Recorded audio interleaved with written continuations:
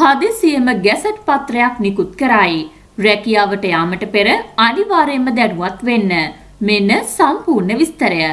සංචරණ සීමා බලපැවැත්වෙන කාල සීමාවේදී සාමාන්‍ය ජන ජීවිතය අකණ්ඩව පවත්වාගෙන යාම සඳහා අත්‍යවශ්‍ය වන භාණ්ඩ හා සේවා සැපීම සම්බන්ධයෙන් නව ගැසට් නිවේදනයක් නිකුත් කර තිබේ. ජනාධිපතිවරයාගේ අනපරිදි නිකුත් කර ඇති මෙම ගැසට් නිවේදනයේ මූලික භාණ්ඩ හා සේවා වර්ගීකරණයන් 10ක් ඇතුළත් වෙයි. පළාත් සභා යටතේ වන රජයේ කාර්යාල මගින් සිදු කළ යුතු අත්‍යවශ්‍ය සේවාවන්ද මෙම ගැසට් නිවේදනයෙන් අනාවරණය කෙරේ. ඊට අමතරව වරාය, පෙට්‍රෝලියම් නිෂ්පාදන, රේගුව, දුම්රිය දෙපාර්තමේන්තුව ඇතුළු ප්‍රවාහන ප්‍රදානයි.